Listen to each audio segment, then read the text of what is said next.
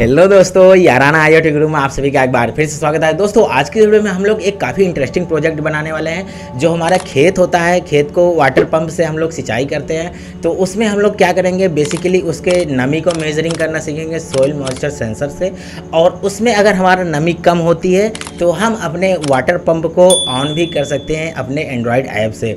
और ये चीज़ें काम करेंगी, हम इंडिया में, यहाँ पर दुनिया में कहीं भी रहें, केवल हमको इंटरनेट की ज़रूरत है। उस इंटरनेट के थ्रू अपने वाटर पंप को भी ऑन कर सकते हैं और सोइल मॉइस्चर सेंसर के थ्रू हम लोग रियल टाइम मेजरिंग कर सकते हैं कि हमारा जो नमी है खेत में, वो कितना है और अभी हमको वाटर पंप ऑन करने की ज़रूरत है कि नहीं है। तो चलिए इस प्रोजेक्ट को कंप्लीट बनाना सीखते हैं। लेकिन उससे पहले आप लोगों से एक रिक्वेस्ट है दोस्तों, अगर आप लोगों ने अभी तक याराना आई ग्रुप को सब्सक्राइब नहीं किया तो सब्सक्राइब करके बेलाइकन को प्रेस कर लीजिए ताकि मैं जो भी नई वीडियो डालूँ, आप तक तुरंत पहुँच जाए। तो चलिए अपने कंप्यूटर स्क्रीन पर चल के आप लोगों को सारी चीज़ें कोड को समझाते हैं।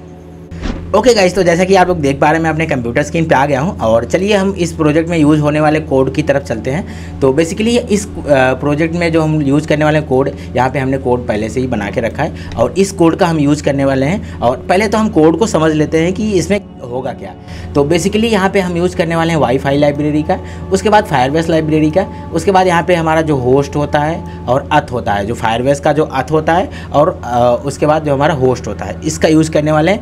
एंड जो हमारा वाईफाई का एस और पासवर्ड होता है। और इसमें सॉइल मॉइस्चर पिन में हमने पिन नंबर थर्टी डिफाइन किया है। ओके गाइज़ एंड मोटर जो होता है, हमने जो मोटर का डिफाइन किया है पिन नंबर टू में डिफाइन किया है। ओके गाइज़ यहाँ पे हमारा सेटअप में हमने क्या किया है कि पिन मोड को आउटपुट दिया है और सॉइल मॉइस्चर सेंसर को भी यहाँ पे इनपुट दिया है कि हमारा जो सेंसर रहेगा, वो इनपुट लेगा। उसके बाद यहाँ पे हमने क्या किया है कि कनेक्शन को इस्टेब्लिश करा दिया है। हमारा जो कनेक्शन है वाईफाई वो हमारा कनेक्शन उसके साथ थ्रू कनेक्ट हो जाएगा, जो भी हमने एसएसआईडी पासवर्ड को डाला है। उसके बाद यहाँ पर कनेक्ट होने के बाद हमको एक आईपी एड्रेस भी मिल जाएगी। जो कि हमारा एक आईपी एड्रेस जनरेट कर देता है। इसकी कोई ज़रूरत नहीं है। अगर आप इसको हटाना भी चाहते हैं तो ये प्रिंट करवा रहा हूँ जस्ट ऐसे ही फॉर टेस्टिंग तो उसके बाद यहाँ पर हम क्या कर रहे हैं बेसिकली यहाँ पर जो हमारा फायरबेस का होस्ट और अथ है मतलब कि जो हमारा यूआरएल था फायरबेस का और जो हमारा अथेंटिकेशन की था, उसका यूज़ करने वाले हैं। यहाँ पे हम उसके साथ कनेक्ट करने वाले हैं। एंड जैसे ही हमारा कनेक्ट होगा तो फायरबेस से स्ट्रिंग में जो हमारा मोटर स्टेटस होता है, अगर उसमें पहले से टैग बने नहीं होंगे, हम दिखा देते हैं फायरबेस जो हमारा है। अगर उसमें से पहले से टैग बने नहीं होंगे तो वो वहाँ पे ऑटोमेटिकली ज़ीरो सेट कर देगा। एंड उसके बाद यहाँ पे हम एक लूप चला रहे हैं। इन लूप में एक इंटीजर वैल्यू को, यहाँ पे सेंसर वैल्यू को, यहाँ पे एनालॉग में हम वैल्यू को गेट कर रहे हैं, ठीक है? और यहाँ पे इनपुट ले रहे हैं। उसके बाद लेने के बाद हम इसको परसेंटेज में कन्वर्ट कर रहे हैं। जो भी हमारा सेंसर का डाटा आ रहा है, उसको परसेंटेज में फेच कर रहे हैं। एंड परसेंटेज में उसके बाद करने के बाद हम क्या कर रहे हैं? जो हमारा परसेंटेज है, उस परसेंटेज के उसके साथ इसको कन्वर्ट कर दे रहे हैं। कि हमारा जो वैल्यू रहे, वो परसेंटेज में डिवाइड परसेंटेज में आ जाए।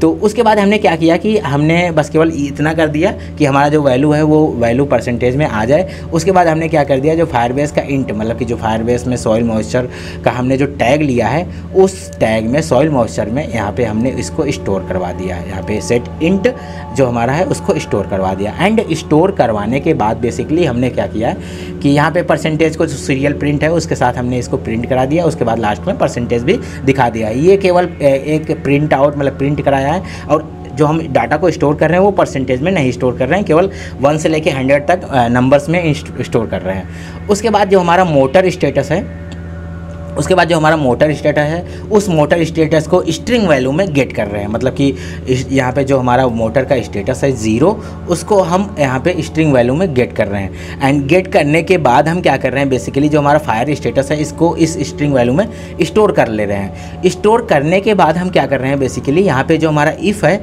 यहाँ पर हमने कंडीशन लगाया। अगर हमारा फायर स्टेटस वैल्यू होता है, जो वन होता है तो हम क्या कर रहे हैं मोटर यहाँ पर एक सीरियल प्रिंट में मोटर टर्न ऑन वन सौ करा देंगे। उसके बाद डिजिटल मोटर में हाई मतलब कि डिजिटल मोटर जो हमारा पिन नंबर टू है, उसको हम हाई कर दे रहे हैं। तो बेसिकली हम इतना कर रहे हैं। उसके बाद इल्स इफ़ एक कंडीशन लगा रहे हैं। अगर हमारी वैल्यू क्या है? ज़ीरो होती है। इल्स इफ़ एक कंडीशन हम लगाया अगर हमारा जो वैल्यू है, वो ज़ीरो होता है तो हमारा जो मोटर है, वो ऑफ़ हो जाएगा। सीरियल प्रिंट में हमने सो करा दिया फॉर टेस्टिंग उसके बाद हमारा जो मोटर है, वो लो हो जाएगा। उसके बाद इल्स कंडीशन में ये एज हमने ऐसे ही लिख दिया कि हमारा जब कोई भी ज़ीरो और वन के थ्रू कोई अदर डाटा मिलता है तो तो यहाँ पे इनवैलिड मोटर स्टेटस करके हमने यहाँ पे शो करा दिया।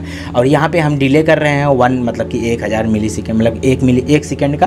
तो एक सेकेंड में हमारा ये चेक करता रहेगा, ये सारी चीज़ें लूप लगाया है कि हमारा एक सेकेंड में जो हमारा सॉइल मॉइस्चर का डेटा रहेगा, उसको स्टोर भी करेगा। उसके बाद यहाँ पे जो फायर स्टेटस मतलब जो हमारा मोटर का स्टेटस है, उसको भी यहाँ पर फेच करेगा। ये सारी चीज़ें हमने कर ली। और अभी हमारा जो फायरबेस का कनेक्शन है फायरबेस का कनेक्शन तो हमने काफ़ी सारी वीडियोज़ में बताया है लेकिन मैं थोड़ा सा बता देता हूँ। आपको फायरबेस यहाँ पे आ जाना है मैं आपको दिखा देता हूँ। फायरबेस थोड़ा सा मैं बता देता हूँ। यहाँ पे फायरबेस आपको ओपन कर लेना है। उसके बाद आपको अपने गूगल अकाउंट से लॉगिन हो जाना है। एंड लॉगिन होने के बाद आपको गो टू कंसोल पे चले जाना है। एंड गो टू कंसोल पे चले जाने के बाद आपको यहाँ पे क्रिएट अ प्रोजेक्ट पे क्लिक कर देना है। क्रिएट अ प्रोजेक्ट पे क्लिक करेंगे जैसे ही। तो यहाँ पे हम कुछ भी ऐसे ही आ, मतलब कि रैंडम नंबर यहाँ पे हम याराना टेस्ट करके हम यहाँ पे डाल दे रहे हैं। उसके बाद यहाँ पे कंटिन्यू पे हमने क्लिक कर दिया एंड कंटिन्यू यहाँ पे हमारा सिलेक्ट करने के लिए कुछ यहाँ पे एनालिटिक्स यहाँ पे कुछ भी आप सिलेक्ट कर सकते हैं। उसके बाद यहाँ पे क्रिएट प्रोजेक्ट पे हमने क्लिक कर दिया। तो जब तक हमारा प्रोजेक्ट क्रिएट करता है, तब तक हम वीडियो को फॉरवर्ड करते हैं। एंड अभी हमारा जो प्रोजेक्ट है, वो सक्सेसफुली क्रिएट हो गया। अभी हम कंटिन्यू पे क्लिक कर देते हैं। एंड कंटिन्यू पे क्लिक करते हैं जैसे ही तो हमारा एक बड़ा सा डैशबोर्ड बन के आ जाएगा। और यहाँ पे हमको क्या करना है? यहाँ पे बिल्ड पे क्लिक करना है, उसके बाद यहाँ पे रियल टाइम डेटाबेस पे सिलेक्ट करना है। यहाँ पे देख सकते हैं रियल टाइम डेटाबेस पे हमने सेलेक्ट किया और यहाँ पे हमको डेटाबेस को क्रिएट करना होगा अगर आप न्यू प्रोजेक्ट बना रहे हैं। तो यहाँ पे बेसिकली अभी हम यहाँ पे क्रिएट डेटाबेस पे क्लिक करते हैं एंड एंड फाइनली हमने क्रिएट डेटाबेस पे क्लिक किया, उसके बाद नेक्स्ट नेक्स्ट पे क्लिक करते हैं। एंड नेक्स्ट पे क्लिक करने के बाद इसको हमको टेस्ट मोड में रखना है। ये चीज़ें आप ध्यान में रखना। आ, मैं पहले ही बता दे रहा हूँ। मैंने काफ़ी सारे वीडियोस में पहले ही बताया क्योंकि आप लोग अगर आ, इस चीज़ का नहीं करते हैं तो आपका जो प्रोजेक्ट है वो वर्क नहीं करना बंद हो सकता है। तो इस वजह से आप टेस्ट मोड में ज़रूर यहाँ पर इनेबल करना। है तो यहाँ पर जैसे ही हमने टेस्ट मोड में इनेबल कर दिया एंड ओके गाइस यहाँ पे हमको क्या मिला? यहाँ पे हमको यूआरएल मिल गया। यू हमारा क्या है? यूआरएल हमारा ये है, जो फायरबेस का होस्ट है, यहाँ पे यूआरएल हमारा ये है। और यूआरएल को हमको कैसे डालना है? यहाँ पे कॉपी कर लेना है इस यूआरएल को। एंड एज इट इज़ जैसे ही हमने डाला यहाँ पे, आप इस यूआरएल को ऐसे ही डाल सकते हैं। यहाँ से याराना से कॉपी करना है, उसके बाद कॉम तक। यहाँ से कॉपी करके यहाँ पे पेस्ट कर देना है। एंड सेकेंड चीज़, इतना ही चीज़ें करनी है आपको, और बाकी की चीज़ें आपको नहीं करनी है, ठीक है? उसके बाद अभी हम क्या करते हैं? इतना सारी चीज़ें हमने कर दिया। अभी हमको ज़रूरत है अथ की। तो ये अथ हमको कहाँ पे मिलेगा? इसको हम बोलते हैं एपीआई की। तो ये अथ हमको मिलेगा यहाँ पे प्रोजेक्ट सेटिंग में आ जाना है। एंड प्रोजेक्ट सेटिंग में आने के बाद यहाँ पे आपको शो करेगा no API key for this project तो इसका सोल्यूशन मैं आप लोगों को बता देता हूँ। इसका सोल्यूशन आपका ये होगा कि हमको यहाँ पे एक एंड्रॉयड ऐप यहाँ पे क्रिएट करना होगा। फाइनल मैं कोई सा भी एक नाम दे देता हूँ, यहाँ पे प्रो पैकेज नेम दे देता हूँ। पहले तो यहाँ पे कॉम डॉट कोई सा भी आप पैकेज नेम दे सकते हैं कॉम ठीक है, यहाँ पे हमने दे दिया, अब यहाँ पे प्रोजेक्ट का नाम दे देते हैं, अभी से। ठीक है, यहाँ पे रजिस्टर ऐप पे क्लिक करते हैं। अभी यहाँ पे कुछ नहीं करना, केवल रजिस्टर्ड ऐप पे क्लिक कर देना। है एंड रजिस्टर्ड ऐप पे हमने क्लिक कर दिया, और यहाँ पे ये जो हमारा जैसन फॉर्मेट में ये जैसन डाउनलोड करने के लिए बोला, इसको हमको डाउनलोड कर लेना है। एंड यहाँ पे हमारा जो जैसन फॉर्म जैसन में जो डाटा है, इसको हमको डाउनलोड कर लिया। यहाँ पे नेक्स्ट नेक्स्ट करके इसको यहाँ पे हटा देना है। ओके कंटिन्यू टू कंसोल अभी जो हमने जैसन फॉर्म जैसन डाटा को डाउनलोड किया, अभी यहाँ पे नो वेब ए पी की मतलब कि अभी यहाँ पे अभी भी आपको यहाँ पे ए की नहीं शो करेगा। जो हमने जैसन फॉर्मेट में डाटा यहाँ पे डाउनलोड किया, इसको हम ओपन करते हैं। एंड जैसे ही हमने यहाँ पे ओपन किया तो यहाँ पे हमको मिल जाएगा एपीआई की। तो ये है हमारा एपीआई की।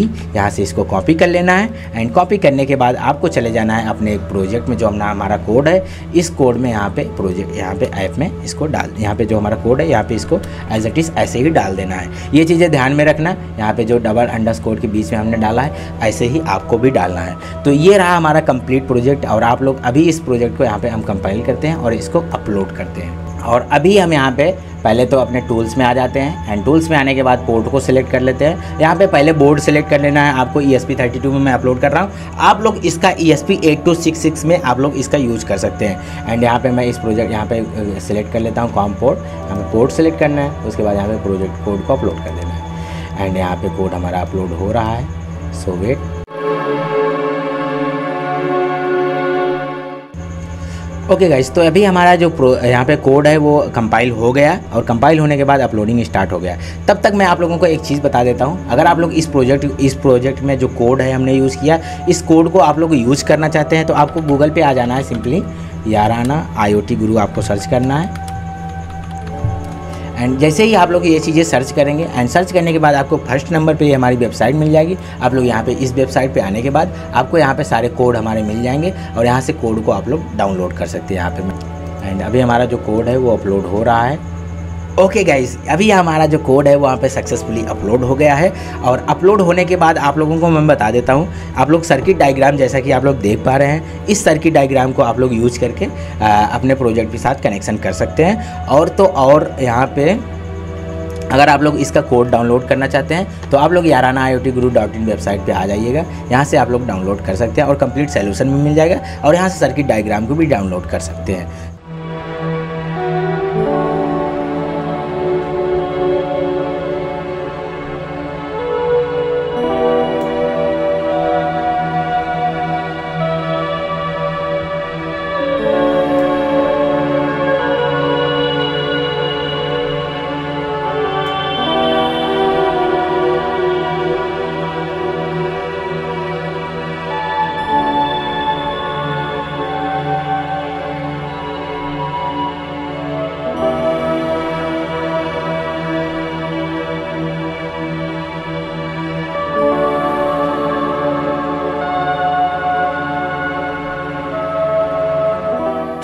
दोस्तों, उम्मीद करता हूँ आप लोगों को वीडियो बहुत ही अच्छा लगा होगा और आप लोगों के लिए काफ़ी हेल्पफुल रहा होगा ये प्रोजेक्ट और भी अपने इस इस प्रोजेक्ट को अपने फ्रेंड के साथ शेयर कर दीजिए ताकि उनको भी इस प्रॉब्लम से सोल्यूशन मिल जाए। तो बस दोस्तों, फ़िलहाल वीडियो में इतना ही और अभी तक आप लोगों ने वीडियो को लाइक नहीं किया तो वीडियो को लाइक कर दीजिए और अपने दोस्तों के साथ भी इस वीडियो को शेयर कर दीजिए।